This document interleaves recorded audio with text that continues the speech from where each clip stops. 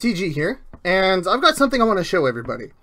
So for certain track segments of this game, you have these really short roads that traffic doesn't really behave like they regularly do.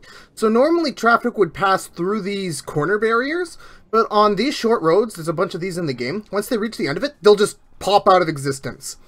And instead of despawning, this traffic actually doesn't, well, despawn. Let me jump onto this car and show you. If it reaches the end of the road, we just flop back to the start of the road segment. Now, if you notice that road segment started out of bounds. So if I uh, hail a car here and time it so I jump on the car at the perfect time. Let me try right now. Okay, that was a bit too early. Let's try again. So if I time my jump just like that, you can just go out of bounds.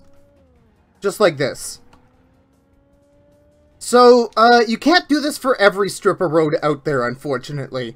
If the traffic passes through that, uh, the, like, barrier, like the arrow barrier, then this does not work, because the moment you press circle to, um, jump on the car, then they'll instantly collide with the arrows, and you can't jump to a car that's out of bounds. Uh, unless there's some frame perfect shenanigans going on, but it's not really RTA viable you know, you know, that kind of thing.